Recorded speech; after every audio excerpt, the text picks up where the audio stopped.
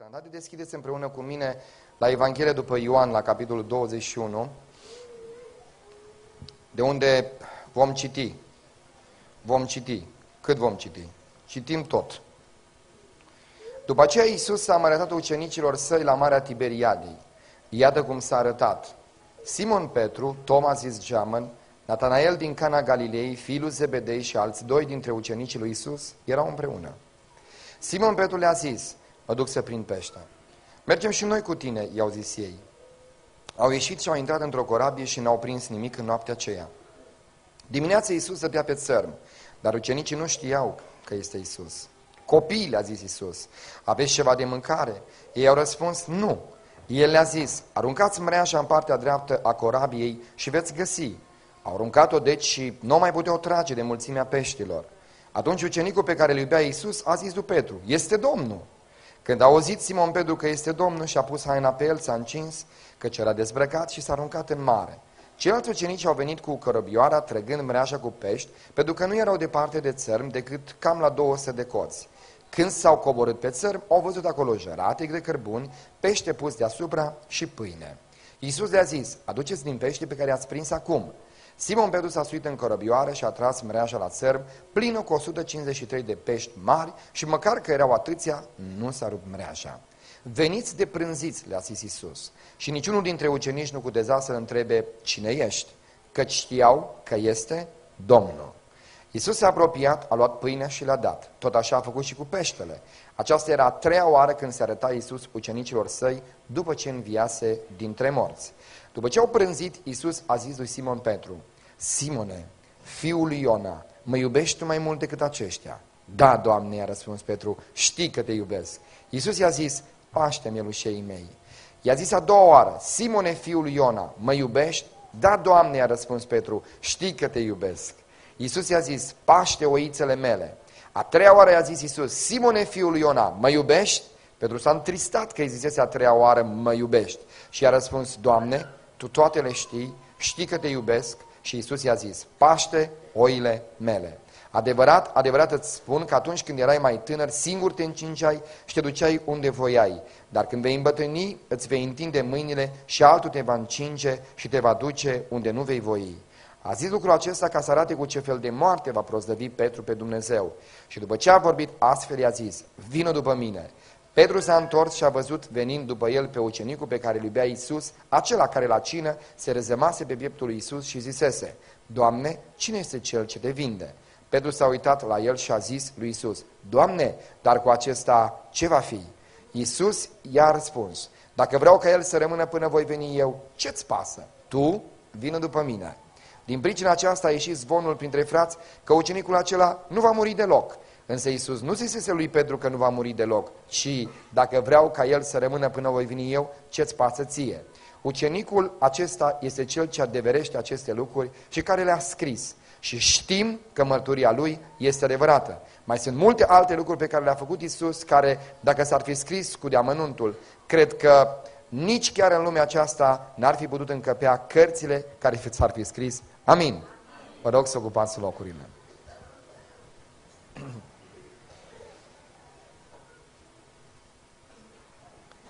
Vreau să vă întreb în dimineața aceasta uh, câți dintre voi uh, ați fost botezați cu Duhul Sfânt. Să ridicați o mână. Aleluia. Vă place faptele Apostolului capitolul 2? Mie îmi place. E un capitol frumos, un capitol al revărsării Duhului Sfânt. Este un capitol senzațional, un capitol în care biserica uh, pornește să lucreze pentru Dumnezeu, unită fiind nu de oameni, nu de un statut, ci de Duhul lui Dumnezeu. Dar dumneavoastră știți că dacă n-ar fi existat uh, Ioan 21, nu s-ar fi scris niciodată faptele, uh, din, uh, capitolul 2 din fapte așa cum a fost scris? N-ar fi ieșit niciodată Petru afară plin de puterea Duhului Sfânt să predice și să spună ceea ce vedeți, ceea ce auziți, nu este ceea ce credeți voi, aici este revărsarea și manifestarea puterii Duhului Sfânt. Dumneavoastră știți că nu există zi de mâine dacă nu trăiești bine în ziua de azi? Dumneavoastră știți de ce de cele mai multe ori nu avem viitor? Pentru că nu știm să fructificăm prezentul și pentru că nu știm în prezentul acesta dăruit de Dumnezeu să punem sămânța care mâine va rodi bine. Ne tot mirăm de ziua de mâine și ne mirăm atunci când vin lucrurile peste noi, uitând că de fapt ziua de mâine este pregătită astăzi. N-ar fi existat niciodată un fapte apostolilor, capitolul 2, dacă nu s-ar fi scris Ioan 21. Un Petru care a fost reabilitat, un Petru care a fost căutat de Domnul Isus Hristos, a fost un Petru care a ieșit într-o zi afară și a zis, Aleluia, aceasta este împlinirea profeției din Ioel, Dumnezeu a revărsat ceea ce vedeți și auziți. Dacă vrei să fii un om puternic, pentru că astăzi vorbim despre slujire, nu uita că sămânța se pune astăzi în pământ. Mâine, ziua de mâine nu e o întâmplare, ziua de mâine nu este ceva care pur și simplu vine. Ziua de mâine înseamnă, de fapt, ceea ce am pregătit în ziua de astăzi. Și Dumnezeu să ne binecuvânteze că astăzi, stând în biserică, să răscumpărăm vremea, căci zilele sunt rele. Să ne ajute Dumnezeu ca astăzi aici să strângem în sufletul nostru capital pentru ziua de mâine. Să putem sta în preajma puterii lui Dumnezeu, să ne alimentăm cu Domnul Isus Hristos. Mâine când voi fi cu ajutorul Tatălui Ceresc în aer, în avion, o să zic, slavă Domnule, am trăit bine ieri. Am fost cu Domnul Isus Hristos, mă vă duce acasă. Că dacă nu faci uh, lucrurile bune în ziua de astăzi, stai ca și frații lui Iosif, care au spus, din pricina aceasta a venit necazul peste, peste noi, din pricina asta ne merge prost, toată viața lor, nemărturisind păcatul, toată viața lor a stat îngrijorat spunând, din pricina asta nu ne merge nouă. De ce? Pentru că ziua de ieri n-am rezolvat-o, n-am trăit bine prezentul și orice viitor este sub umbra aceasta a faptului că din pricina aceasta se întâmplă relele. Iubiții Domnului, am să vă spun un lucru pe care aș dori din toată inima în această dimineață să-l înțelegem foarte bine bine. Să credeți dumneavoastră că Satan are foarte multe vicleșuguri. Să credeți dumneavoastră că Satan are foarte, foarte multe tertipuri în viața aceasta. Și să credeți că satana este un filozof desăvârșit. Să știți că foarte multe filozofii și lucruri pe care le-am preluat nemestecate din lumea aceasta ne vor mânca viața pe dinăuntru.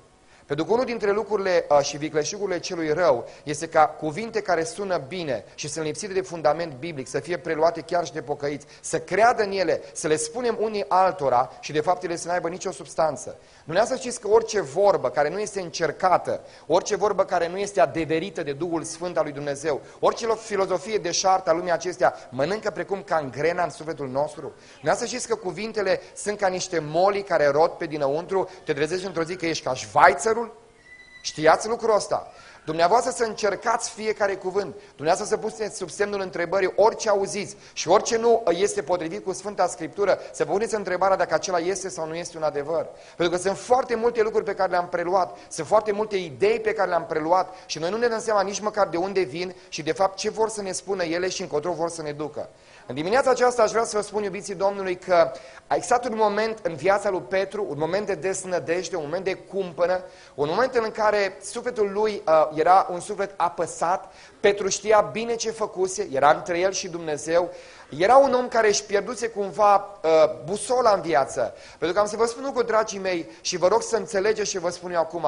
Noi nu trebuie să avem capacitatea intelectuală de a ști uh, eventual uh, cum anume analiștii ne spun nouă să trăim. Nici nu măcar nu trebuie să știu foarte multe economie în viața aceasta să-mi dau seama cum trebuie să trăiesc. Vă spun un singur lucru în care cred. Nici măcar n-am avut nevoie de cărți să-mi cresc copiii. Nu spun că nu sunt bune sau că nu-ți pot da sfaturi bune, dar am înțeles în viață viață un singur lucru, că forța care mă ajută să nu orbecăi, forța care mă ajută să nu fiu confuz în viață, este să am o viață trăită în neprihănire cu Dumnezeu.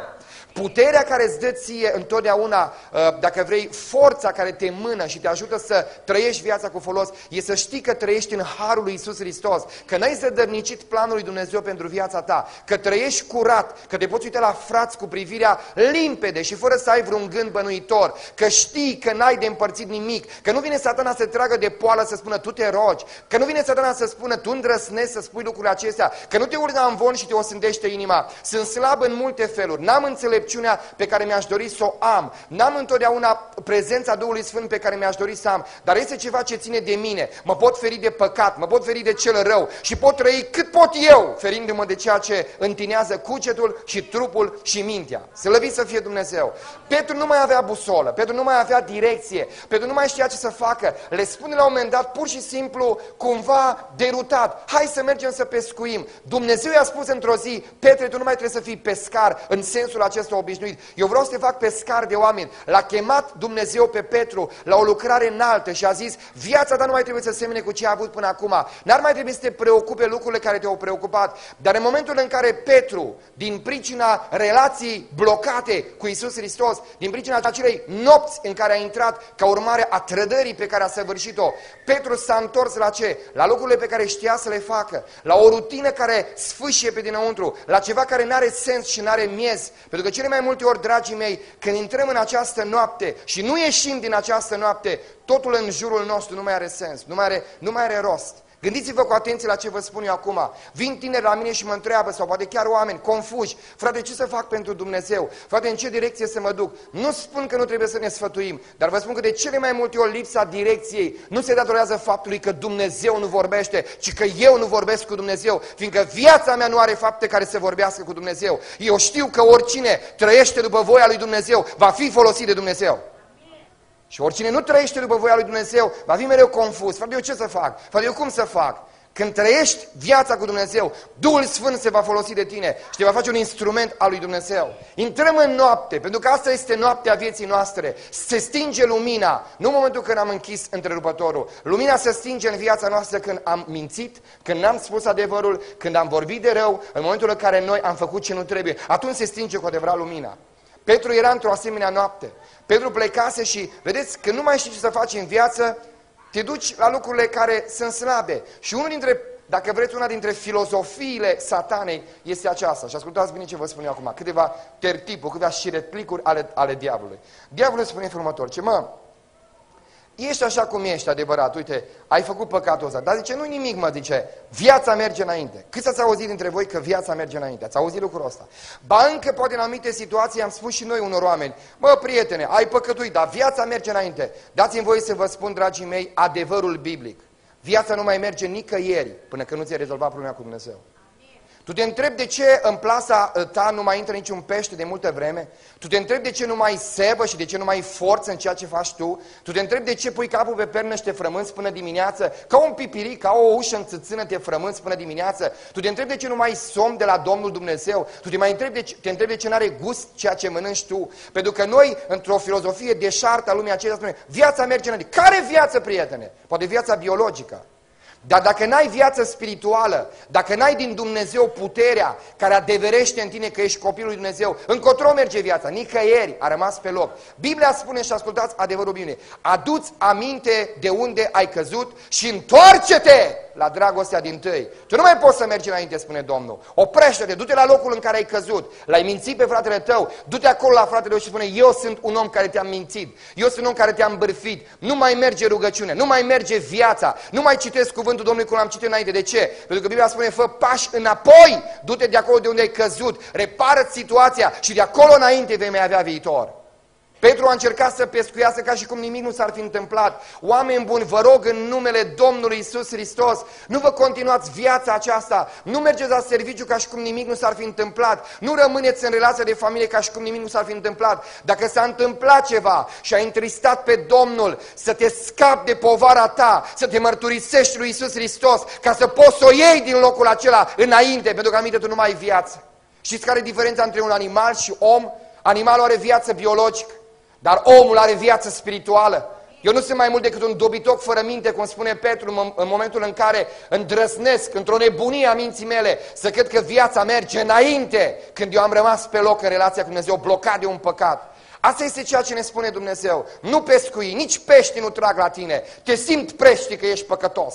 De ce n-ați intrat în, în plasa lui Petru? Până și pește au simțit că Petru e un om care nu și-a rezolvat problema. Nu mai vine la tine binecuvântarea. Oamenii când stau de vorbă cu noi, n-ați observat în multe situații cum Dumnezeu a dat binecuvântarea? Ochii tăi, a zis patronul, sunt cinstiți. Vorba ta, zice, e dulce și miroasă, dar în ziua în care te despărți de Hristos și ai făcut ceva greșit și ai intrat în noapte, tot această binecuvântare se duce. În atâtea împrejurări la vieții mele, poate că v-am spus și v-am mărturisit, când eram sărac și m-am angajat, mi-a dat patronul o speță, eram atunci consilier juridic și mi-a spus, ca, ca în povestea asta clasică, dacă mâine zice nu vii cu rezolvarea, unde stau uh, picioarele acolo să stea capul și invers.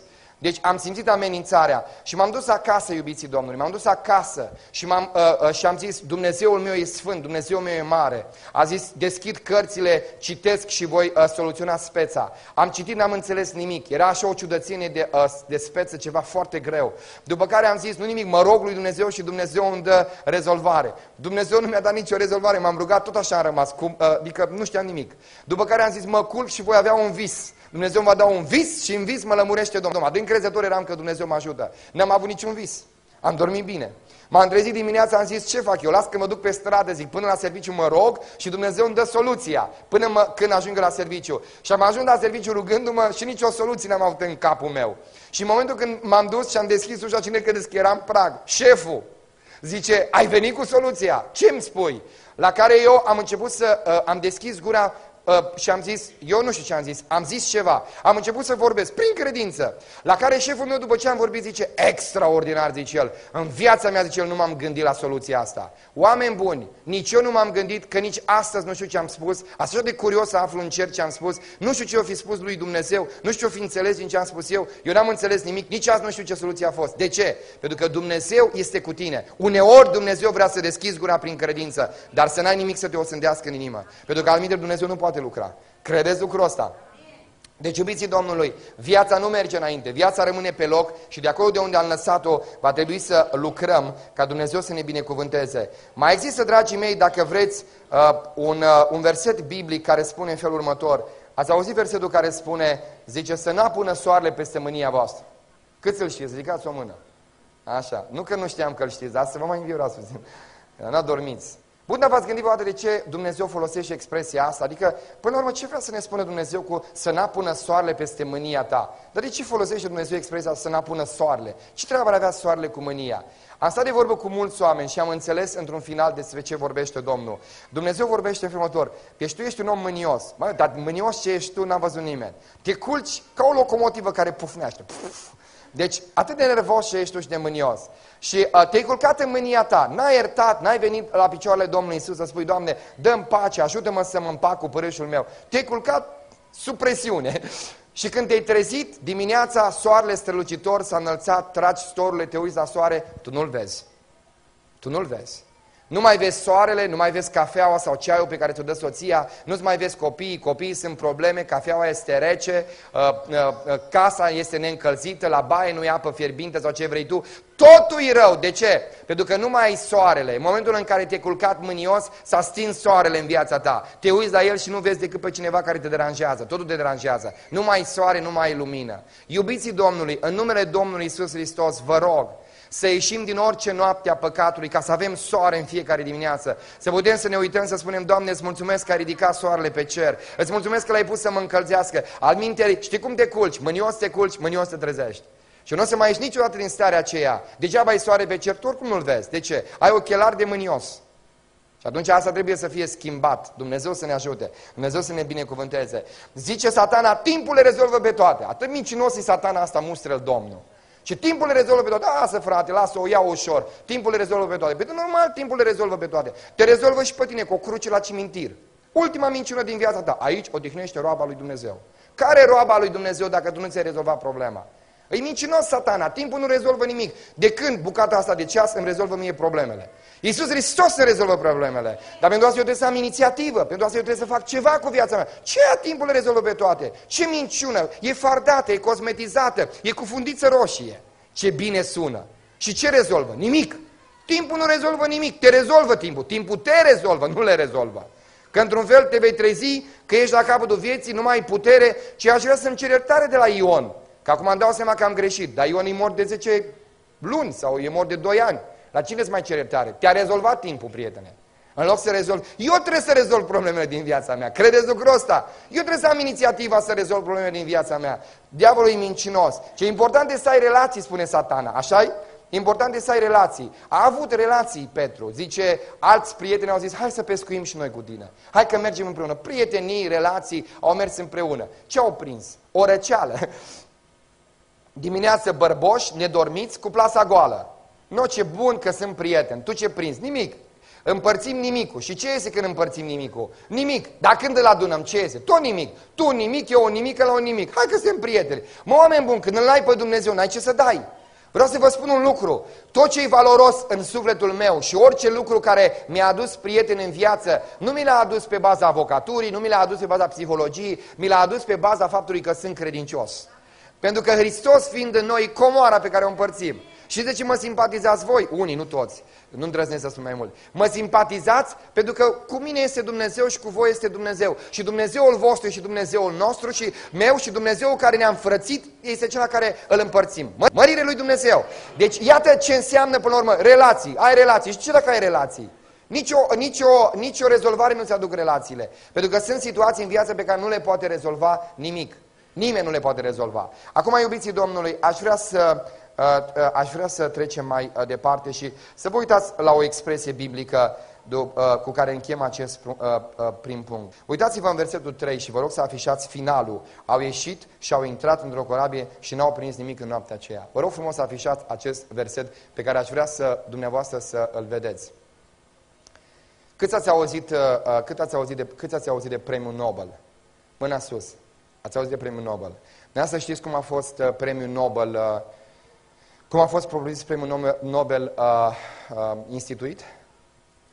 Nu să nu știți, așa -i? Uh, Nobel, uh, Alfred Nobel este propriu omul care a inventat dinamita.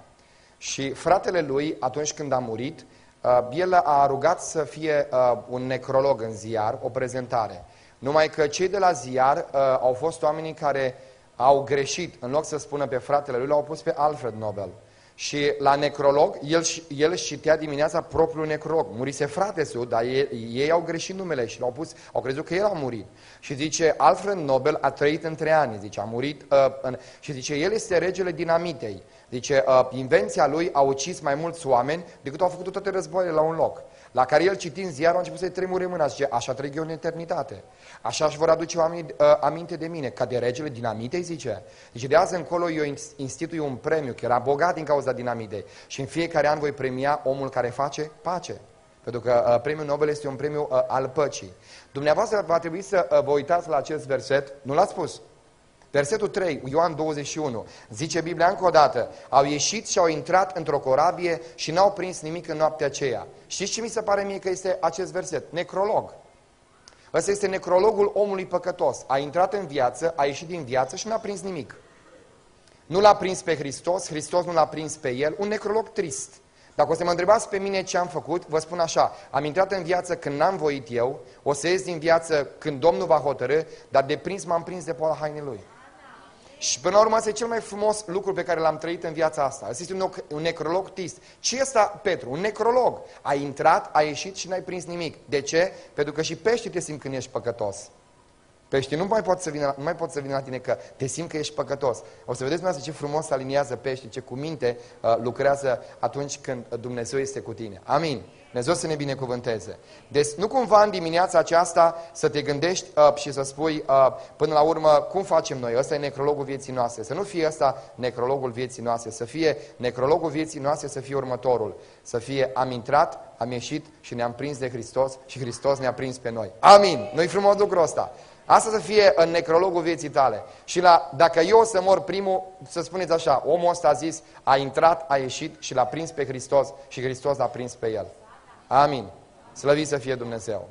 Iubiții Domnului, al doilea punct pe care vreau să-l împărtășesc în dimineața aceasta cu voi, deci după ce am vorbit despre această noapte a înfrângerii, o noapte din care, uh, chiar dacă se face zi biologică, tu nu mai ești, de asta ați văzut ce puțină forță avem în viață când ne osândește inima. Vii la biserică și spune Biblia că dacă nu te osândește inima, ai îndrăzneală. Scopil de Dumnezeu. Aleluia! Iisus Hristos m-a iubit, mă iubește. Aleluia! Mă rog cu credință. Dumnezeu e bun. Nu știu care e planul lui, dar știu un singur lucru. Sunt copil de Dumnezeu. Dacă mă osândește inima, tu copil de Dumnezeu, tu mincinos, tu înșelător, tu care te, uh, știu eu, uh, te spurci cu lucruri care n-ar trebui să te spurci. Cum poți să spui tu că ești copilul Dumnezeu? Satana vine în ureche ta și așa are o pâlnie mare și așa are un megafon care strigă, zice, păcătosule, și te moi ca ceara. De ce? Pentru că tăria noastră e Hristos. Hristos în noi, nădejdea slavei, Hristos e tăria noastră. Pot totul în în Hristos, nu în carne, nu în sânge, nu în relații, nu în viața merge înainte. Pot totul în Hristos, care ce face? Mă întărește. Slăvit să fie Dumnezeu. Acum, iubiții Domnului, se întâmplă ceva frumos când uh, se, fac, uh, se face, uh, când zorii apar. E așa de frumos e Dumnezeu. Nu să observați, vă îndrăgostiți așa un pic de Scriptură. E noapte. S-au dus să pescuiască, că noaptea se pescuiește, că noaptea trag pește. S-au dus să pescuiască. Dimineață, supărați, probabil că erau cum erau, uh, începe, încep să se vadă zorii, obosiți, pește nimic, plasa goală și undeva pe țărm, mărire lui Dumnezeu, undeva pe țărm, odată cu zorii, că Hristos nu vine cu noaptea, Hristos vine cu zorii. Odată cu zorii pe țărm stătea o persoană acolo. Și persoana aceasta se uh, uită spre uh, direcția uh, corabiei și rostește câteva uh, cuvinte extraordinare. Ce spune? Zice în felul următor, dimineața Iisus stătea pe țărm. Dimineața Iisus stătea pe țărm. Pentru că aș vrea să vă spun un lucru, dragii mei, și vă rog în numele Domnului Iisus Hristos să înțelegeți de ce era Iisus Hristos acolo. Și astăzi sunteți obosiți. Dar voi când sunteți odihniți? Voi v-ați născut obosiți. Dumnezeu din cer să vă dea înviorare, mă, oameni buni. Toarne, Doamne, ă, ce să toarne, Domnul? Apă vie. Da, Dumnezeu să vă binecuvânteze, Dumnezeu să vă ajute. Dacă mintea nu-i conectată, păi nu se poate. Dumnezeu să vă ajute, eu vreau să și înțelegeți și să pricepeți. Acum, nu numai așa uh, lucruri emo, uh, emotive. Cuvântul lui Dumnezeu este acela care are putere. Eu nu așa stârnim niște emoții, plecăm acasă, am plâns. Ce ai făcut tata? Bine a fost, ce ai făcut? Am plâns. Păi ce că ai plâns? Nu e important că ai plâns. Important e ce ai înțeles. Așa să ne Dumnezeu. Bun. Acum, dimineața Iisus stătea pe țărm. Dar de ce stătea Iisus pe țărm? V-a spus întrebarea de ce stătea Iisus pe țărm. Dar de ce să-mi pun frate întrebări de genul ăsta? Păi puneți că poate ai răspunsuri interesante. Pentru că în momentul în care Iisus Hristos a înviat, zice uh, Domnul Iisus Hristos, spuneți-i și lui, și lui Petru că am înviat. Zice Domnul Iisus Hristos, Petre, noi doi avem ceva de discutat, crezi lucrul ăsta? Da, Doamne, cred. Între noi doi a rămas ceva nerezolvat. Da, ai zis că toți dacă te părăsesc, eu scot sabia și mă lupt cu toți mei. Și acum, Petre, tu ești foarte dărâmat, tu n-ai mai ieșit din noapte, tu ai făcut niște promisiuni mari și acum știți ce se întâmplă? Dec dacă Dumnezeu ne-ar fi ajutat măcar să nu facem promisiunile alea mari, că acum vine satana și ne tu cu gura ta, mă viteazule și își bate joc ce rău de noi, măcar că tăceam, e o vorbă, dacă tăceam, filozof rămâneam. Deci măcar dacă tăceam și nu vorbeam, dar fiindcă am vorbit, îi mai mare rușine acum, că dacă tăceam, măcar spuneam, mă, n-am vorbit. Domnul mă acuză că n-am vorbit, acum am și zis, m-am osântit cu gura mea cu alte cuvinte. Și acum vine Domnul Iisus Hristos la țărm, ce Petre, nu ți-am zis eu, uh, nu ți-am zis eu că am înviat? Da. Și ce ai făcut după ce am înviat? Și am alergat la mormânt, dar nu te-am găsit acolo. Bun, zice el, dar n-am venit eu în după amiaza aceea în dărătul ușilor închise și m-am arătat în mijlocul vostru? Da. Și acum eu vă întreb pe voi, l-ați auzit pe Petru alergând la Domnul și spune, Iisuse Hristoase, mărire ție, bine că ai înviat pentru că noi doi avem ceva ce ne-am rezolvat. Mă bocăiesc în sac și în cenușă, Doamne, eu am fost un om care am promis mult și a rezolvat puțin. Unde îl vedeți, îl vedeți pe Petru că vorbește cu Iisus? Nicăieri. A apărut Hristos acolo, în mijlocul uh, ucenicilor, a apărut duminica uvărtoare când a venit și Toma și asta era, spune Biblia, treia oară când a apărut și a zis, măi, eu mă duc la cer, zice, eu mă înalț astăzi, mai ei puțin și plec și tot, tot, tot, tot cu problema nerezolvată ești. Dar tu când ai de gând să vorbești despre lucrurile importante ale sufletului tău? Vii la biserică, păi vii la biserică. De ce dacă ai venit la biserică? Dar tu ai venit la biserică să bifezi o condică? Tu ai venit la biserică să-ți rezolvi problema cu Isus. Dar tu tot vii la biserică și nu faci nimic. Care-i folosul că vii la biserică? Tu știi de ce Dumnezeu ți-a mai dat o zi de viață? Ca eu să-mi rezolv problema cu Isus? Am ceva de rezolvat cu El. Eu am ceva să-i spun Lui. Eu am ceva să-i mărturisesc Lui. Eu am ceva de vorbit cu El în dimineața aceasta. Și Isus stă la marginea țărmului și spune, Petre, nu mai este timp. Eu mă înalț la cer și nu o să mai stai să te uiți în ochii mei. Eu am venit astăzi să spun că dacă tu nu vii la mine, vin eu la tine mărire lui Isus. Ce credeți dumneavoastră că, ce credeți dumneavoastră că noi am venit la biserică voluntar? Și ce spune profetul Maleahi? V-am tras cu funii de dragoste. Așa. Ne trage Dumnezeu cu funii de dragoste. Că nu trăgea Dumnezeu de funii, tu nu te mai urneai. Haideți să fim cinstiți. Câtora dintre noi le-a trecut prin minte, nu m-am uitat la biserică, s-a obosit, mai dorm un pic. Ne-a trecut. Dacă nu azi, altă dată. Și Dumnezeu a zis, ia să pun eu funia pe umăr, să o mai trag un pic, să-l mai trag și pe Ionică la biserică, că să iar doarme, se întoarce pe parte. Dacă nu ne trăgea Dumnezeu cu funii de dragoste, noi nu eram azi în biserică, credeți? Și funile de dragoste ale lui Dumnezeu sunt în multe feluri. Recunoștința pentru pâinea nemeritată, pentru serviciul pe care îl ai, sunt funii pe care Dumnezeu le pune pe umăr și le trage. Dar noi avem o problemă, iubiții Domnului. Vă rog în numele Domnului Isus Hristos, nu trebuie să-L convingeți pe Duhul Sfânt să coboare în adunare. El este mai dornic decât credem noi. Nu-i nevoie să, uh, să-L convingeți pe Dumnezeu să ne vindece, e gata să ne vindece. Dar Domnul Iisus spune, mă mir mă mir, zice, că voi mergeți înainte în acest simulacru de viață, în ceea ce voi numiți viață și nu este, și nu veniți să vă rezolvați problema cu mine. Am luat inițiativa, spune Iisus Hristos, în dimineața asta sunt la voi, vreau să stau de vorbă cu tine, vreau să vorbesc cu tine, spune Iisus Hristos. De ce? Ca să-ți rezolv problema. Tu trebuie să vorbești cu mine, dar trebuie să vorbești cu mine, ce Domnul Iisus. Și ascultați, uh, fantastic este acest Dumnezeu, extraordinar, copleșitor. Spune la un moment dat că Domnul Iisus Hristos vine și ascultați, cam ce vârstă uh, Marius crezi că avea Petru când era atunci pe corabie? Oricum, cer, clar că nu avea 20 de ani, 15 nici atât. Poate că era omul la 40 de ani, chiar, chiar mai bine. Acum, eu cred că ăștia, după o noapte întreagă de pescuit, cred că erau și, cum să spun eu, cu o privire în asta mai aspră. Eu am văzut oamenii care nu dorm o noapte, mai, nu știu cum să spun, par așa mai îmbătrâniți. Eu m-am uitat la mine. Și bărboși și, uh, nebă, uh, și, uh, și supărați și la, la care Domnul Iisus Hristos vine la ei. Deci în acești, deci în acești bărboși, la acești bărbați și le spune, copii, deci extra, cum adică copii, domnule, cum copii, adică, ce vă eu deci 40 de ani și copii, și copii, copii, aveți ceva de mâncare, spune Domnul, copii, cum e că copii, dă mai bărbații vlășgani care erau acolo pe corabie și nu făcuseră nimic. uh, și Dumnezeu le spune copii, oameni buni, Slăvit să fie Iisus Hristos, Domnul. Ascultați-mă, înainte acestui Dumnezeu de multe ori mă simt neajutorat. Viața aceasta este o viață care mă ia pe nepregătite în multe feluri. Și vreau să recunosc înaintea lui Dumnezeu că uneori mă simt dezarmat în fața vieții. Uneori mă simt neputincios în fața vieții. Și n-ar trebui să ne rușinăm de faptul că nu avem răspunsuri. Nu știu încotro să o iau, nu știu ce să fac. Și Domnul Iisus vine și îmi spune, copii, pentru mine ești un copil, eu sunt tatăl tău, eu sunt Dumnezeul tău, eu te ajut. Nu trebuie să te sperii că n-ai încotro să o iei. Pentru mine vei rămâne mereu un copil, îți cunosc sufletul, îți cunosc felul de a fi. Și în momentul când spune Dumnezeu copil, îmi vine să mă ghemui și să mă arunc în brațele lui de Dumnezeu și să-i spun, Doamne Dumnezeule, eu nu sunt mai mult decât un copil și la 50 de ani tu trebuie să mă înveți și la 60 de ani trebuie să stau de vorbă cu tine și îmi pare bine că am un tată și îmi pare bine că am cineva care are brațele deschise.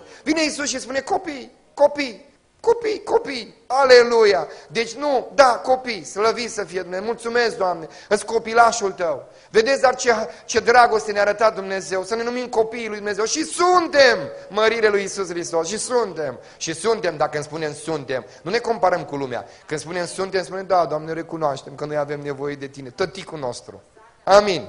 Slăvit? Asta înseamnă și suntem, nu o să te umfli de un pene. Ajută-ne, Doamne. Bun. Și ce le spune Domnul Isus Hristos? Sunteți atenți? Sunteți atente? Numai grupul ăsta striga amin. Voi, muții Domnului. Deci amin înseamnă așa să fie, adică de acord cu ceea ce se vestește. Iubiții Domnului. Îmi place de Domnul Isus Hristos. Dumnezeu nostru este un Dumnezeu de o finețe nemărginită. Se uită la ei și le spune, aveți ceva de mâncare? Păi eu dacă eram în locul Domnului Isus Hristos și ce spuneam, ați prins mă ceva? Dar asta era o întrebare jignitoare.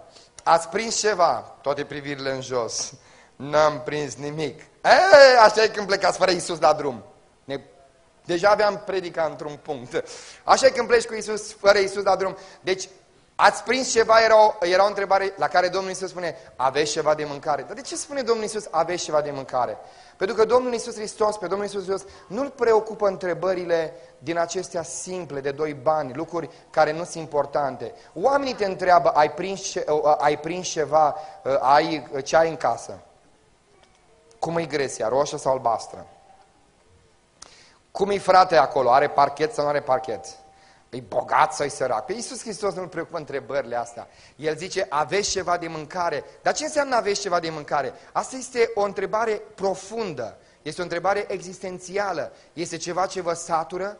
Este ceva ce vă hrănește? Sufletul vostru are mâncare? Sufletul vostru primește hrană? O, Doamne, pâine care te coborâ din cer să te frângi pentru noi mâncăm din tine și ne săturăm. O apă vie care saturi și stâmperi sifta sufletului nostru, îți mulțumim. O întrebare profundă. Dumnezeu nu vrea să spui întrebări simple. Dumnezeu vrea să spui întrebări existențiale. Ascultați-mă, vă rog în numele Domnului Isus, întrebați-vă simplu. Doamne, sfericit. Îți mulțumim, Doamne, cu viața pe care o am. Trăiește sufletul meu. Mi-e drag mie de ce am în viața aceasta. Doamne, îți pregătit pentru eternitate. Îți gata să dau ochii cu hotarul cerului tău. Doamne, îți pregătit să mă iei acasă. Doamne, am fost un tată bun. Puneți-vă întrebări grele. Dumnezeu vrea întrebări esențiale. Nu vrea întrebări de 2 lei. Ce mai faci? Bine, bine, pace, pace, du-te, du-te, mă duc. Toată ziua, bună ziua, numai lucruri din asta de doi bani vorbim între noi, care nu ne ajută cu nimic. Dar dați-vă cumva viețile peste cap, tulburați-vă sufletele unul altuia prin întrebări adânci. Măi, soră, ești fericită? Bă, ce-ți veni, mă, să mă întreb dacă ești fericită? Îmi veni. Pentru că asta face Dumnezeu, ne, ne face să punem întrebări adânci, întrebări grele. Ești mulțumit cu ce faci, frate? Ții un microfon în mână și lauzi pe Domnul. Îi Dumnezeu cu tine, ești mulțumit, ești în păcat. Mă, corule care cânți, ce faci? Ești bine? Tu te simți partea lucrării lui Dumnezeu? Simți că Dumnezeu se răsplătește pentru lucrul acesta? Ce faci, faci? Cu ce folos faci? Ce sens are ce faci? Încotro tot te îndrepți cu viața ta. Dumnezeu vine și spune, aveți ceva de mâncare? Și întrebarea este existențială, este profundă, pentru că mută privirea de la pești care nu au fost prinși și de la rușinea momentului acela o mută spre un plan general. Cine vă dă vouă de mâncare? A cui mână se deschide și vă hrănește? Cine este Tatăl vostru și Dumnezeul vostru? De ce se zgoi? Pentru că nu vreți să vă umpleți, spune Iisus. Să este adevărul. Mută Dumnezeu privirea. Mare este Dumnezeul nostru. Slăvit să fie Iisus. Și acum, iubiții Domnului, vreau să vă spun un lucru. În momentul acela în care Domnul Iisus Hristos vorbește, spune un lucru deosebit. Ei este clar, răspunsul uh, era evident. Nu pune Domnul Isus Hristos întrebări, fiindcă El nu le știe. Le pune întrebări Domnul Isus Hristos ca noi să conștientizăm nevoia de ne întreba. La care Domnul Isus Hristos spune ce am venit să vă rezolv întâi problema aceasta și ce aruncați mreașa în partea dreaptă. Sunteți atenți la ce vă spun eu. Deci aș putea să stau cu voi o zi întreagă și tu nu mă saturi de cuvântul Domnului. Bun, haideți vă spun un lucru. Ce aruncați mreașa în partea dreaptă. Îl iubesc pe Domnul Dumnezeu. De ce? E criză. Bun, Doamne, ce să fac eu, Doamne? Unde să mă mai duc, Doamne? În Italia, să mai găsim vreo regiune neexplorată, vreo companie nouă care are ceva contracte. Asta e gândirea noastră. Dumnezeu spune, eu am o soluție clasică. S-a întâlnit Domnul Iisus Hristos cu Petru la prima pescuire minunată și a zis, aruncă mreașa în partea dreaptă. S-a întâlnit Domnul Iisus Hristos cu Petru și zice, aruncă mreașa în partea dreaptă. Dumnezeu nu are soluții noi, Dumnezeu are aceleași soluții vechi de când îi uh, El și anume respectă cuvântul lui Dumnezeu, urmărește cuvântul lui Dumnezeu, împlinește poruncile lui Dumnezeu și Dumnezeu îți va da ceea ce lipsește sufletului tău. Amin! Și s-au dus ei și au aruncat mreaja în partea dreaptă, așa cum Domnul Iisus Hristos i-a învățat de fiecare dată. Și Dumnezeu ne învață de fiecare dată. Rugați-vă lui Dumnezeu și Dumnezeu vă va da pâinea. Căutați să fiți pe placul lui Dumnezeu, fiți cinstit în lucrul vostru și Dumnezeu se va îngriji de pâinea voastră. Citiți cuvântul lui Dumnezeu, umpleți-vă de cunoștința voii sale și nu veți fi neroditori în viața voastră. Dumnezeu nu se modernizează, Dumnezeu are aceleași metode, Scriptura, rugăciunea, frățietatea, lucrarea pentru Dumnezeu. Amin? Slăvit să fie El. S-au dus și au aruncat mreaja în partea dreaptă, nu au mai comentat. Și spune Biblia că s-au umplut mreaja de pești. Dar ce fel de pești erau? Ziceți voi, mici, mari, mijlocii. Deci pe Dumnezeu nu interesează că sunt roșii, că sunt verzi. Sunt nuanțe. Mari, zice Dumnezeu. Ca să știți că e vorba de mine, zice. Eu când dau, dau cu mână largă. Sunt mari. Dar acum vreau să vă întreb un lucru. Dumneavoastră aveți ceva cunoștințe geografice? Ce pești sunt în Marea Tiberiade? Cine a fost în Ierusalim, probabil că ar trebui să știe. Plevușcă. Unde mici? Mici. Nu sunt pești mari. Deci vă rog, citiți, deschideți un atlas, uh, cercetați. Sunt pești mici. Și au venit pești mari. Pe Dumnezeu a zis, dar tu voi credeți că, voi credeți că Marea Tiberiade vă hrănește pe voi. Voi credeți că deșteptăciunea voastră că știți să găsiți locul, asta credeți că face diferența. Deci nu erau, uh, deci în primul rând că ei n-au prins nimic noaptea și în al doilea rând că erau plevușcă, era plevușcă în Marea Tiberiade. Dar Dumnezeu s-a uitat și a zis Iisus, unde sunt uh, peștii mari? Japonia, hai încoa. Toți peștii au venit în plasă. Noi mergem pe pământ, Dumnezeu vede și ce sub. Deci Dumnezeu nu are nevoie de prospecte uh, geologice. Dumnezeu nu are nevoie de ce știu eu ce prospecte marine. Dumnezeu spune peștilor, haide, intră în plasa pocăitului, că eu trebuie să-l binecuvântez. Mari, mari, Doamne! De unde ați venit? Nu știu de unde au venit, a fost un ban de pești, Dumnezeu i-a mânat, le-a pus GPS-ul binecuvântării, direct în plasă. Și au tras ăștia plasele, nu mai puteau să tragă în sus, de mari ce erau. Ați înțeles, dragii mei, cum funcționează binecuvântarea? Vin oameni și spun, da, Dumnezeu m-a binecuvântat, frate, dar eu am o licență în drept. Dumnezeu m-a binecuvântat, eu am o licență nu știu ce, eu sunt inginer, frate, eu sunt deștept, eu am niște metode extraordinare. Mă uit la aici și spun, mă, copilașule, mă. Mă, nu te duce minte deloc, mă. Dumnezeu din cer ne dă nouă, dragii mei, belșugul binecuvântării. Vă mai frământați atâta. Marea Tiberiade, n-au prins nimic, pești, pești mici. Iisus Hristos a zis, tot să vină aici. Ce importanță are? De unde, de unde vrea El? Și dumneavoastră, este o întâmplare cu Isaac. Ați auzit de Isaac, săpătorul de fântâni? Câte fântâni au săpat Isaac? Ziceți voi. Mă, dar nu știți Biblia. Una, două, trei fântâni a săpat la rând. Da? A săpat o fântână și i-au pus numele Sitna, care înseamnă ceartă. Uh, după care au pus numele Sec, care înseamnă o ceartă întețită. După care a mai săpat o fântână la Ehobot și aia nu a mai furat-o nimeni. Dar de ce a fi săpat Iacov, Isaac atâtea fântâni?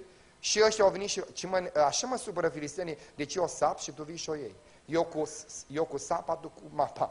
Deci, uh, ați înțeles ideea. Deci săpa săracul Isaac, veneau ăștia și spuneau, apa e a noastră, și uh, Isaac mai săpa încă o fântână. Vedeți că nu s-a certat cu filistenii. A zis, mă luați-o, mă luați-o, mă luați-o. Dar ce a făcut Isaac? A înțeles un lucru. Mă, ce la mine secretul nu e că sap fântână, mă, prieten. Nici, deci nu în hârleț stă secretul. Secretul stă în faptul că Dumnezeu meu este Dumnezeu care umblă cu apa rămâneți voi cu fântâna, că Dumnezeu merge cu apa. Și ce Dumnezeu uh, bagă izvorul care era aici, îl bagă la următoarea unde sap eu. Că Dumnezeu este Dumnezeu care umblă cu apa. Voi rămâneți cu fântâna părăsită. Că Biblia spune că uh, fântâna pe care o săpase Avram au stupaseră. De ce? Păi se case. Păi dacă o luase filisteni în primire, ce Dumnezeu onorează fântâni, puțuri, Dumnezeu onorează apa. Și Dumnezeu pleacă cu apă. Ce? Mă duc la următor. Păi, asta este secretul binecuvântării. De ce unii ani și de ce n-au? Binecuvântarea poate să fie în multe feluri. Binecuvântarea poate să fie în felul în care tu ai nevoie de două pâini. Dar o binecuvântare poate să fie că Dumnezeu mă ajută pe mine și n-am nevoie decât jumătate de pâine. Nu și asta o binecuvântare. Tu trebuie să mănânci două. Și atunci Dumnezeu îți dă două. Dar poate că o binecuvântare este că Dumnezeu mai reduce un pic apetitul. Și asta poate fi o binecuvântare, nu? Slăvit să fie Domnul. Vă că zâmbiți. Iubiții Domnului, Asta mai spun un lucru interesant. Când a venit la uh, țărm, când au venit spre țărm, deci în momentul în care, în momentul în care Domnul Iisus Hristos era acolo la țărm și a întrebat și a spus copilașilor, aveți ceva de mâncare, unul dintre ucenici a strigat și a zis, este Iisus, este Domnul, este Domnul. Dar ceilalți n-au zis. O, ce necredincioși, ce nepocăiți. Nu, nu. Vreau să vă învăț un lucru, dragii mei, în dimineața asta. Ia nu mai strigați voi, este Domnul, până nu vedeți mai întâi uh, că Dumnezeu în viața voastră rodește. Mulți ne grăbim să declarăm, mulți ne grăbim să fim declarativi, dar ar fi bine când ne întoarcem și când mărturisim pe Domnul să avem reașa plină. Ceilalți ucenici au zis, o fi, o fi, trebuie să vedem. Ei au pescuit după, cum a spus Domnul, au ridicat pește și după aceea au zis, gata, nu mai era niciunul care să-L întrebe, toți știau că e Domnul. Ioan, ucenicul acesta, iubirea strigat este Domnul, l-a recunoscut în felul ceilalți au așteptat. E bine în viață să ai mărturie. E bine în viață să spui, sunt al lui Hristos, după ce dai mărturie prin rod. Nu declarați până că mai întâi oamenii nu văd roadele voastre. Pentru că fără roade suntem niște chimbale zângănitoare și o ramă sunătoare. Dumnezeu să ne ajute. Am închis paranteza. Iubiții Domnului, acum vreau să vă spun un lucru frumos. Uh, e bine, stăm bine cu timpul. Acum mai avem puțin și încheiem. Într-un fel sau altul. Uh, la un moment dat, Biblia spune că au tras mreaja pe țărm și Domnul Iisus Hristos le spune în felul următor. Zice, aduceți din pești pe care i-ați prins acum. Ca să nu ziceți voi că mâncați pe socotela voastră. Mâncați, zice Dumnezeu, pe socotela mea. Eu v-am dat pești și tot eu sunt acela care vă binecuvântez. Dar îi zice lui Petru un lucru interesant, sau altui ucenic. Câți pești erau în, în mreajă? Tare, tare, tare, tare. 153. Dar de ce era 153? Dar cum s-a aflat că sunt 153? Sunt absolut convins că Domnul Iisus Hristos a zis, un lucru trebuie să-l faci, zice, înainte să mâncați, zice, înainte să mâncați, ia puneți mâna și numărați pești. S-a uitat și a zis, Doamne, dar stau necoși, sar din mână, cum să numărăm pești? Că doar uh, acolo faptul că sunt 153 de pești a fost scris. Îi scris, prieten, că sunt 153 de pești. I-a numărat cineva? Vă uitați la mine de parcă aș fi OZN. Deci ăsta este adevărul, cineva i-a numărat, nu? Deci, dacă 153 nu-ți numărați ăia, că Domnul să a trântit o cifră acolo. 153 de pești. Și Domnul Iisus Hristos a zis, înainte zice, ca voi să mâncați, numărați pești. Pe toți, pe toți. Eu a fost greu, a fost greu, nu e ușor să numeri pești, aia care să fi zbătut ce știu eu, ăsta al necoș. Și atunci a început, 1, 2, 3, 1, 2, 3 și au numărat pești. Dar de ce oare? Oare de ce spune Domnul? Iubiții Domnului, vreau să vă spun o strategie fenomenală. Înainte de orice, va trebui când vă treziți dimineața, Dumneavoastră să înțelegeți un lucru. Uh, întotdeauna Dumnezeu este cu noi și în noi, dacă când am, mi-am dus la culcare, l-am păstrat pe Dumnezeu cu noi. Dar să mai știți un lucru pe care vi spun eu. Dimineața când te trezești și satana este acolo. O să oh, ce vorbești? Da, tot timpul su suflă în ceafă, mustrel Domnul. Tot timpul pe urmele tale să-ți dea o lovitură. Credeți lucrul ăsta că satana e tot timpul pe urme? Nici el nu și-a, el nu și-a concediu. Ura este o forță fenomenală. Ura nu-ți dă răgaz să stai. Tot timpul urzești planuri. Deci ne urăște, că e tatăl urii. Și ăsta n-are stâmpări niciodată. Și satana când te trezești dimineață, prima dată când te trezești dimineață, cobori din pat, te duci la baie, s-a rupt clanța. Nervii sunt gata. Nu mai este apă, nu-ți merge curentul. Supărat, supărat. Nu mai știu eu ce se întâmplă, nu-ți găsești șosetele, că ți le-a aruncat aseară și una, nu știu, un copil s-a jucat cu ea. Nervos, nervos. N-a sunat ceasul la vreme. Supărat, supărat. Deci vreau să vă spun că în fiecare moment strategia celui rău este să aducă în sufletul nostru tot felul de tulburări. Și Domnul Iisus Hristos spune, când vă treziți dimineață, mă, când vă treziți dimineață, uitați-vă în breajă și începeți număratul. Uh, una bucată om care s-a trezit. Aleluia! M-am trezit. Aleluia! Sunt viu. Sunt viu. Slavă Domnului! Încă o zi de pocăință. Uh, o casă dată mie de Dumnezeu. Două binecuvântări. Aleluia!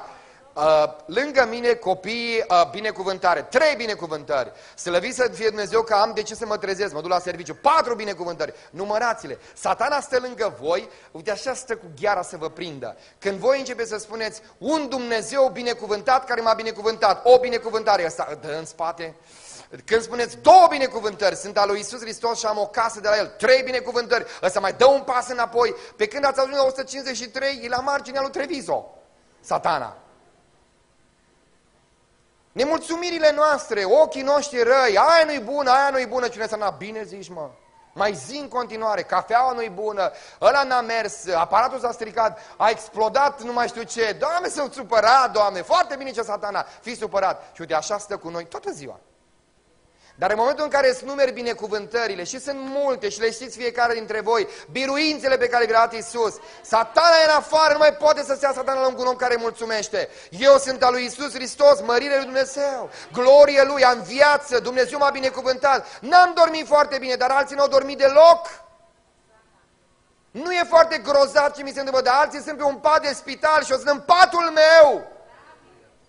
Mărire lui Isus Hristos, numărați-vă binecuvântările. Spuneți în dimineața aceasta, sunt la biserică, lângă mine sunt frații, surorile, sunt cu copilul, sunt cu soțul, Dumnezeu m-a binecuvântat, încă am cât de cât sănătate. Mărire lui Isus Hristos, numărați-vă binecuvântările. Contează? Contează enorm. 153 de pești. Numărați și voi binecuvântările. Exersați binecuvântările. Biblia spune că trebuie să ne aducem aminte, să nu uitați niciuna din binefacerile Domnului. Ajută-ne, Iisuse. Iubiții Domnului, un lucru important pe care vreau să vi-l spun în dimineața aceasta în continuare este următorul. Dumnezeu să ne ajute. Uh,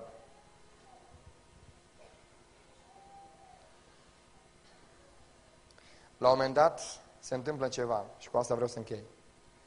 Pentru că după ce au mâncat, îl văd pe Domnul Isus Hristos cu Petru, nu știu. Probabil că Petru, Petru s-a ridicat de la masă și a făcut câțiva pași căutând să stea de vorbă cu Isus. Poate că Isus a făcut câțiva pași și l-a chemat pe Petru, nu știu. Dar ceva s-a întâmplat și vreau să vă spun un lucru, dragii mei, pe care îl cred mereu. În Petru a început să se înfiri pe speranță. Adică, de ce ar veni la țărm dacă nu m-ar iubi? Adică, de ce mi-ar umpe mie mreașa dacă nu m-ar iubi? Adică, de ce mi-ar da de mâncare dacă nu m-ar iubi? Oare toate acestea nu sunt semne evidente ale faptului că mă iubește?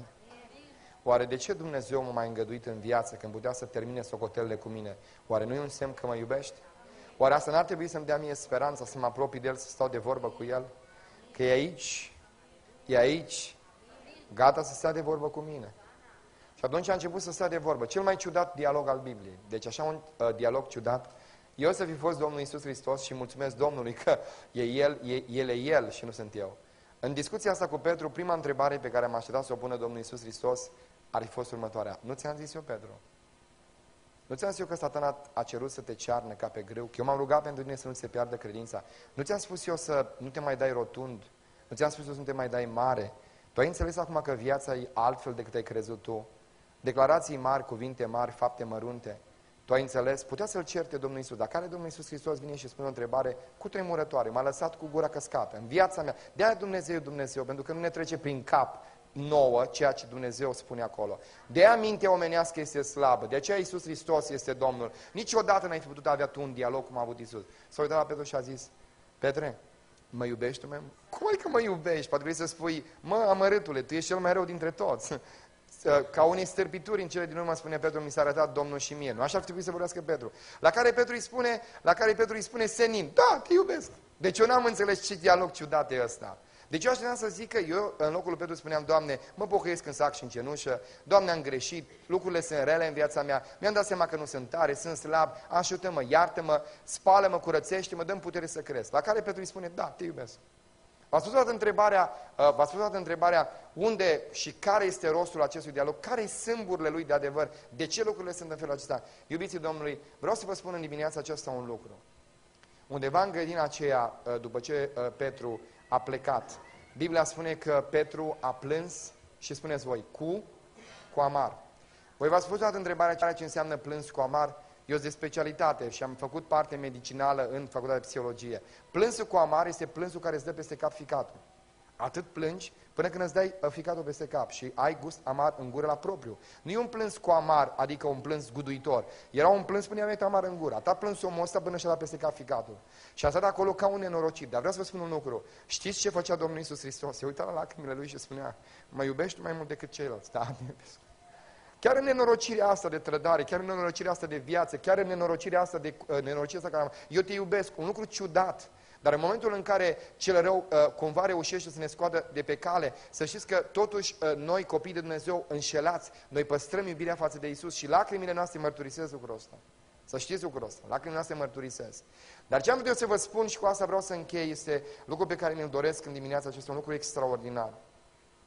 Vedeți dumneavoastră, iubiții Domnului, vine Domnul Isus Hristos și spune în felul următor, și îmi spune mie Domnul Isus, pentru că asta, de asta m-am adus acest cuvânt.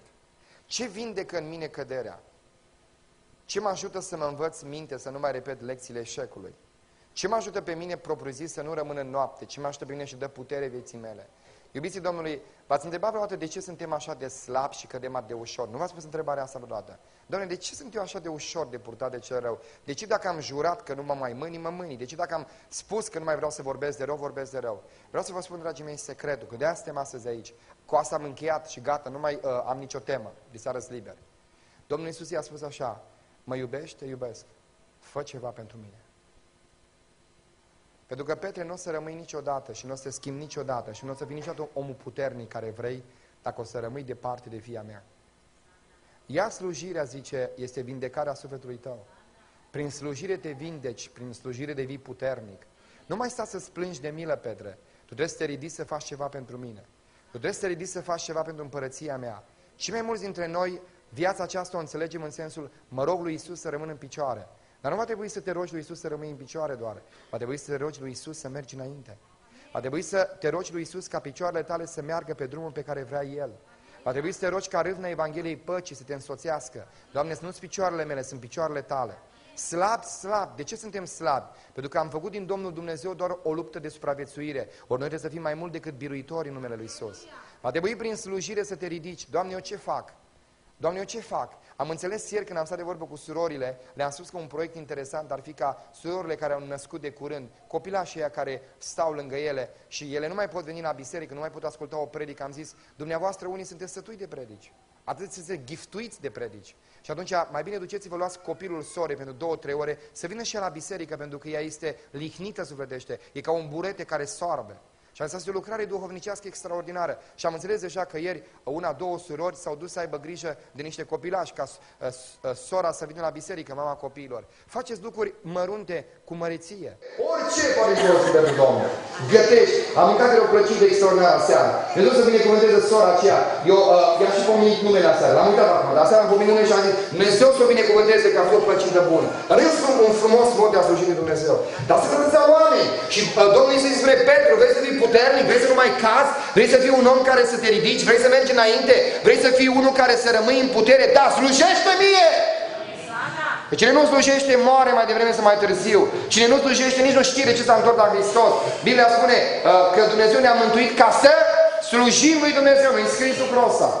Dumnezeu nu a mântuit ca să stau eu mântuit, să spun eu, mântuit, tu nu ești mântuit, eu sunt pocăit, tu ești listea. Ce e asta? Nu de asta ne-a mântuit Dumnezeu. Dumnezeu ne-a mântuit ca să slujim lui Dumnezeu. Ca să slujim lui Dumnezeu. Ca să slujim lui Dumnezeu. Ajută-ne Iisuse Hristos.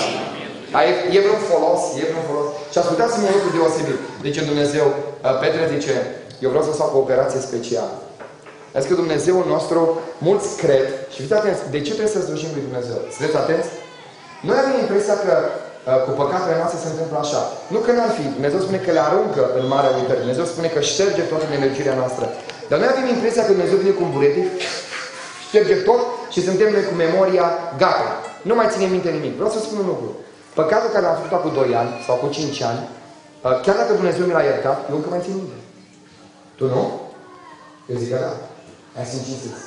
Încă nu mai bântuie amintirea și mă doare să vedeți așa. Când Domnul Iisus Hristos a zis, prietene, trebuie să fac un lucru important cu tine. Eu trebuie să fac ție o vindecare a minții tale. Și a zis Domnul Iisus Hristos, eu nu șterg memoria, eu înlocuiesc memoria lucrurilor rele cu lucrurile bune. Pentru că la sfârșit de viață va trebui să dăinuie în tine binele pe care l-a făcut Hristos prin tine, nu rău pe care le săvârșit.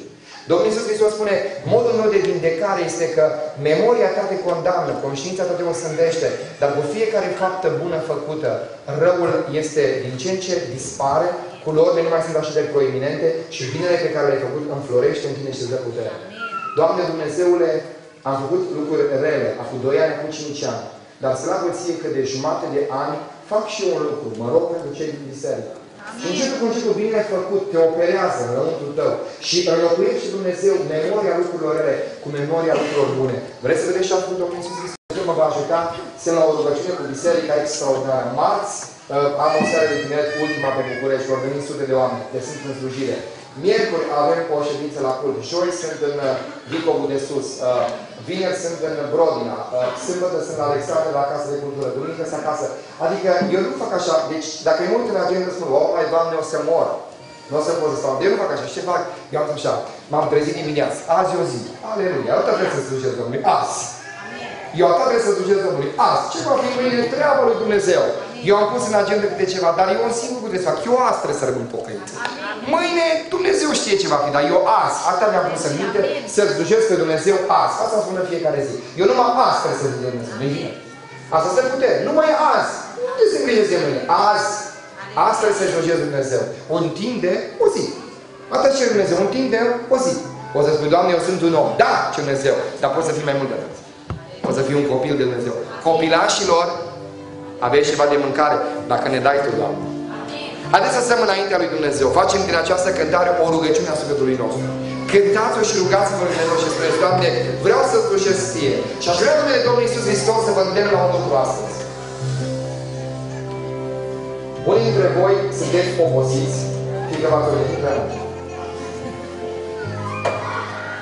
De aceea aș vrea numele Domnului Iisus Hristos, când veți uh, trece la Domnul, să treceți obosiți. Biblia spune, uh, veniți și odiniți-vă. Nu pot, Doamne, că toată viața mea a fost un concediu. Eu nu s-o pus. Deci, eu trebuie să mă duc la Domnul obosit. Asta spune Dumnezeu. Veniți să mă odiniți. Aș vrea numele Domnului Iisus Hristos în dimineața aceasta să spun, Doamne, am înțeles un lucru important. Prin lucrare, prin slujire, nu liniști. Spaie de neliniști, de îngrijorarea zilei de mâine, de uh, mintea care este bântuită de eșec. Tu mă vindeci de rateurile din viața mea. Dai vieții mele sens. Și încă un lucru important. Doamne, ce mreajă bogat.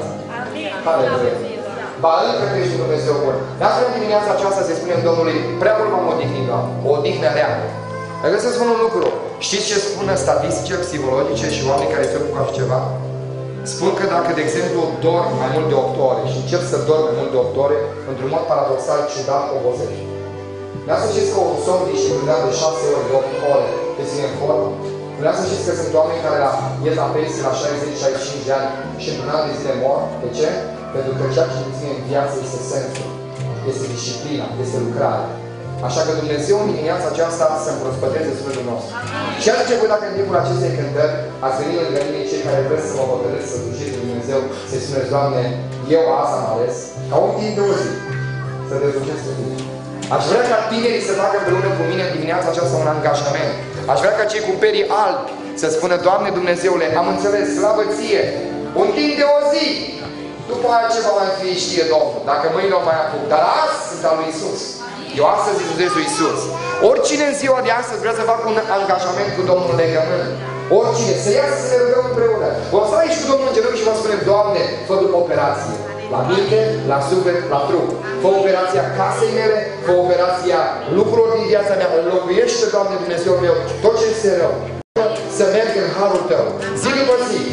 Vom sta într-o zi în Împărăția Lui Dumnezeu și Domnul îi spune Asta, asta, asta, am făcut asta, am făcut asta și ne vom bucura.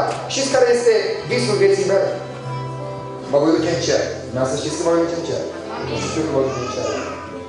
Și Dumnezeu nu mai, mai face câte lucruri minunate. M-a dus bună oară în Austria și m-am întâlnit cu o tânăr. M-a de brațe, m-a feritoasă. Zice, m-a strâns, zice, Aleluia, tu ești Florin, eu sunt Florin. Frate, zice, Dumnezeu să-i binecuvânteze. Am auzit o predică, m-am pocăit. Și acum am în biserică, mă pregătesc să-mi botez. M-am uitat la el, chip luminat, frumos, Rafael se numește. Zic, știi ce e Rafael? Nu, da, zice, știu. Arhanghelul care tulbura apa și aducea vindecare. Bun, zic, să fie o vindecare pentru toți. M-a strâns în brațe, m-au părit oasele. După aia m-am dus spre casă și m-am gândit, Iisuse, Doamne, o să mă duc în rai. Și într-o zi vine un străin. Cine ești străin? Eu zice, sunt uh, un suflet din televizor. Ai venit odată la televizor, ai spus despre Domnul ceva, Dumnezeu mi-a vorbit și am luat hotărârea să-mi schimb viața. Am luat hotărârea să-L slujesc pe Dumnezeu. El de mă în cer. Harul este al lui Iisus Hristos. Dă o bucățică acolo, ai pus și tu. Pentru că ți-ai deschis gura și l-ai mărturisit pe Domnul. Și o să stau și o să mă bucur în cer de tot aceea pe care Dumnezeu mi-a dus. Pentru că vreau un snop bogat. Vreau să mă duc la Iisus Hristos să spun, eu sunt păcătos. Eu nu sunt om care am făcut ce trebuie. Dar, Doamne, cât am putut am luptat, atât am putut să aduc. Ăsta e snopul. Bucură-te că e al tău. Sângele tău a fost vărsat. O dimineață am slujit. Asta trebuie să facă Dumnezeu acum aici. Adică am ieșit de noapte, pentru că am venit chiar la noi. Cu zori a venit Iisus. Și la nu rămâi așa. Tu trebuie să intri în această zi a slujirii. Ne, uh, vreau să ne dăruim lui Iisus în dimineața aceasta. Și să vină cei care vor să slujească Dumnezeu cu putere. Cei care au nevoie într-un fel sau altul ca Dumnezeu să-i întărească. Cei care au nevoie într-un fel sau altul ca Dumnezeu să-i scoată. Dumnezeu să-i vindece. O să spui, mă vindecă Dumnezeu pe mine? Da, dar te vindecă cu un rost. Puneți inima să-L cauți pe El, să-L mântuiți pe El. Amin? Cântăm, veniți aici în față și ne rugăm împreună. Sunt doar un om, ajută-te, rog, să pot să cred ce pot va fi. Să sper